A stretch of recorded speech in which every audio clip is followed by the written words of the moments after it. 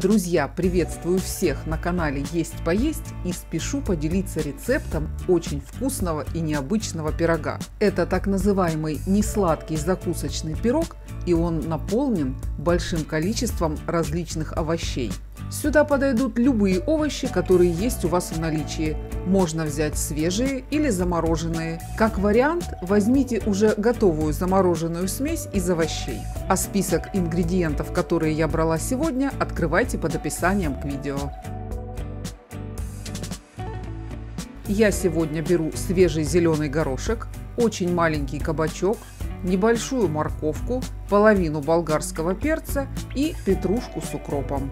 Кабачок я нарезала мелкими кубиками, добавлю соль, размешаю и дам постоять. Перец также нарезаю кубиками, а морковь я потерла на терке для моркови по-корейски. Можно, конечно, вручную нарезать очень тонкой соломкой. Ну и зелень, разумеется, тоже порезала. Сделаю тесто. К яйцам комнатной температуры добавляю соль, столовую ложку сахара и взбиваю миксером до состояния такой светлой и пышной пены. Наливаю 4 столовые ложки подсолнечного масла, можно заменить растопленным сливочным.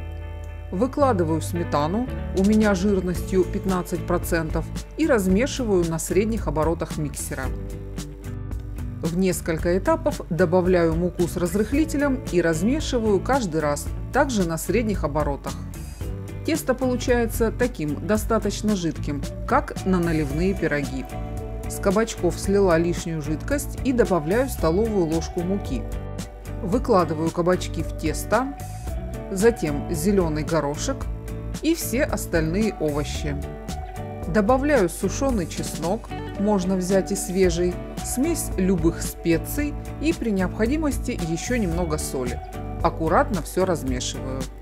Выкладываю массу в форму, смазанную растительным маслом. Размер моей формы 20 на 20 сантиметров.